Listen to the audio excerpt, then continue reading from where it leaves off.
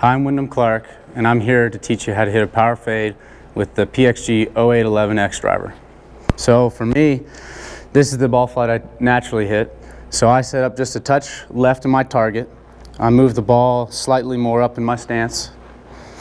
And then I typically try to hit up on the ball, which will help me create that fade.